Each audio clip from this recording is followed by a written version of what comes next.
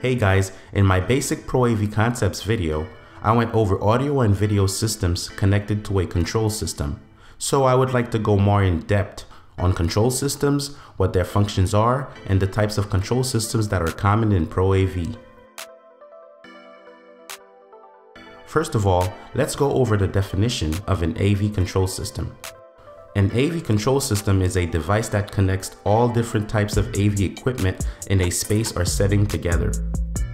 The same way the AV matrix routers route AV signals, control systems route control analog and digital signals to both analog and digital devices in the AV system. The control system is also where the programming of the system is located. This programming has the instructions on what needs to occur when certain analog or digital states are engaged or detected in the AV system.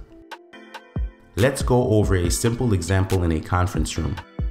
You may engage the projector screen to drop manually using the touch panel or you may just have a program running that automatically drops the projector screen once the projector is selected on the touch panel or as soon as a meeting is scheduled to begin. All of this logic lives in the control processor. A decade ago, most conference rooms needed an AV technician to manually perform all these tasks that are now automated by control system programming. Control systems don't need to include all aspects of the space, but has the ability to interface and communicate with other analog or digital systems. In commercial environments, many lighting and shading systems are handled by different manufacturers, but commercial AV processors can handle the interoperability. Here are some of the popular control ports on AV control processors. COM ports. They're responsible for device control and operation or on-off operation of devices in a Pro AV system. IR ports. They're responsible for operating electronic equipment in a Pro AV system using light signals in the infrared range hence IR, using line of sight like most TV remotes. Relay port. Like the projector shade being engaged in my earlier example in the video, that shade is usually wired to the relay port of the control system and through that connection control communication is achieved. And sometimes general purpose input output or Cresnet ports in form of Phoenix blocks but we won't cover that in this video. Ethernet port. A LAN or control subnet or AVLAN Ethernet port can be used for communication between transmitters and receivers, the DSP, the lighting system, the HVAC system, or any other systems that allow TCP IP connections using unsecured telnet, secured SSH, or to other proprietary ports defined by equipment manufacturers.